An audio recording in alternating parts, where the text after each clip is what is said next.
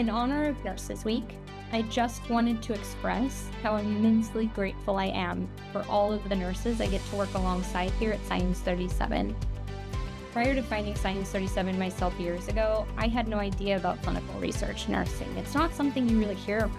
It's like this little hidden gem. But the moment I found Science 37, I was so excited about the innovation and the barriers we were breaking to deliver research in participants' homes. Now, working alongside all the wonderful nurses as we continue to deliver research in participants' homes, doing things that have never been done, I feel honored.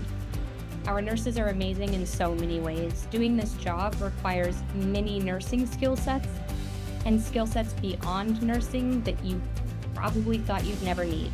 And our nurses do it all while being flexible, empathetic, and kind. Our nurses are the face of Science 37, usually the only people to ever meet our participants face to face. And I get to be on this journey with such a talented group of people.